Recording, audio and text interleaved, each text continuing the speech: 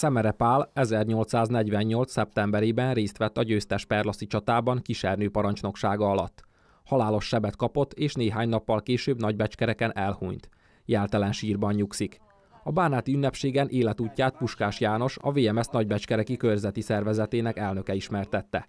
Beszédet mondott Pál Károly, a párt ügyvezető alelnöke.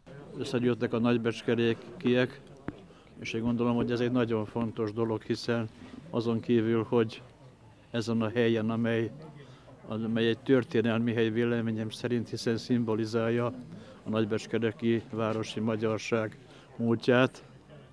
Egy olyan esemény történt, amelyen élő emberek hirdetik azt, hogy, azt, hogy akarják azt, hogy ennek a magyarságnak itt Nagybecskereken legyen jövője is. A nagybecskereki magyar közösség őrizte és ápolta Szemere Pál emlékét.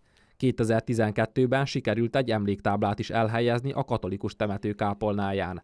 Az emléktábla egy összejöveteli lehetőség az itt élő magyarság részére, de nem az egyedüli.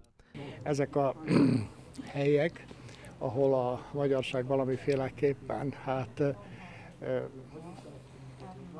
összejöhet és emlékezhet múltjára, történelmére, ezek olyan kapaszkodó pontok, amiktől nem volna szabad egy egyetlen közösséget se megfosztani. Nagybecskerekhez két aradi vértanú neve is fűződik.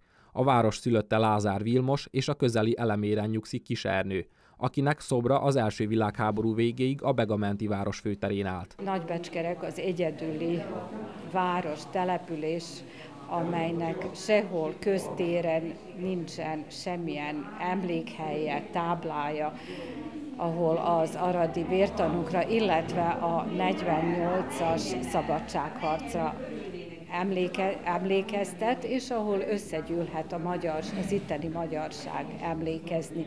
Szemere Pál emléktáblájára az emlékezés virágait a VMS, az MNT és a Petőfi Sándor Magyar Művelődési Egyesület képviselői helyezték el.